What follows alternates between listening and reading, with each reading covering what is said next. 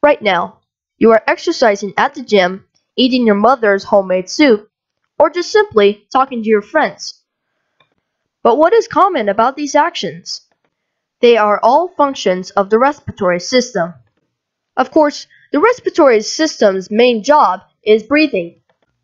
And the respiratory system's main function is to help carry oxygen to all the cells around the body.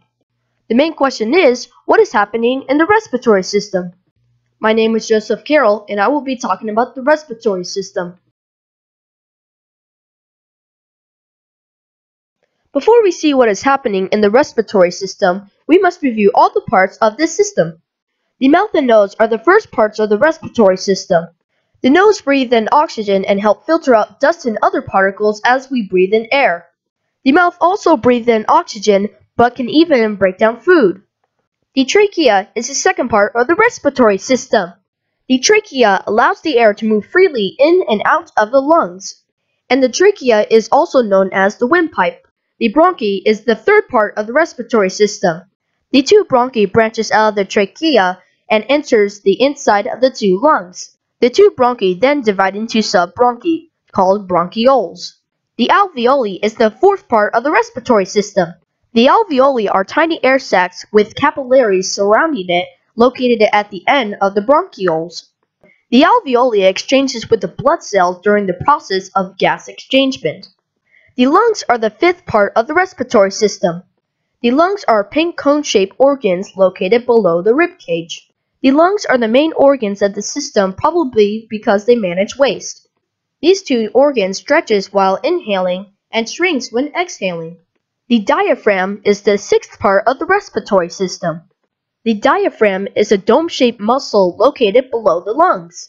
This kind of muscle flattens while inhaling and expands while exhaling. The pharynx is the last part of the respiratory system and just helps us swallow. You have reviewed all the parts of the respiratory system. Now we will see how this system works. First, we will see how air moves in and out of the body. Air first enters the mouth or nose, to the back of the throat, and finally down the trachea. Air then moves in the two bronchi and then the bronchioles. The air finally reaches the alveoli and the process gas exchangement occurs. As we are inhaling, the diaphragm flattens. Expelling out carbon dioxide while exhaling does the same process as inhaling, only backwards. And as we exhale, the diaphragm relaxes and expands. Now let's see how gas exchangement works. When the air first reaches the alveoli, the alveoli starts to exchange with the blood cells in its capillaries. The blood cells exchange carbon dioxide into the alveolus, the airspace of the alveoli, and the alveolus exchange oxygen into the blood cells. The oxygenated blood leaves the heart and travels along the aorta through capillaries thinner than hair. As the blood cells approach the capillaries, the oxygen leaves the blood cell and into the body tissues. As the blood cells leave the capillaries, carbon dioxide leaves the body tissues and into the blood cells. Deoxygenated blood returns back to the heart, to the lungs, and the process repeats. Let's see how we swallow our food. The epiglottis is a flap that folds over the trachea to allow food pass down the esophagus. The epiglottis folds open to allow the air move in the trachea. Last, we will see how we filter out the air we breathe in. The microscopic hair, called cilia, in your nose help filter out large harmful particles. The cilia are found along your air passages and move in sweeping motion to keep the air you breathe clean. Smoking is a very harmful substance to the human body. Let's see why it's so dangerous. One danger of smoking is that it can affect the filtering of the air. Smoking can make cilia stop functioning, causing health problems.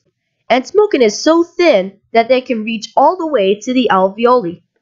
Another danger in smoking is that it can affect the process of gas exchangement. Smoking can reduce the amount of oxygen to the blood cells. This would be a major problem because less oxygen is transported to the body cells and tissues. The last danger of smoking is that it can cause harmful diseases. Two good examples of smoking diseases is lung cancer and emphysema. Emphysema is a disease where the alveoli loses and traps their functional gas exchangement area, and the volume of the air reduces. Unfortunately, this video has run out of time. And I hope this video gave out a lot of information for the respiratory system. Anyways, thank you guys so much for watching this video, and hopefully I'll see you in the next animation.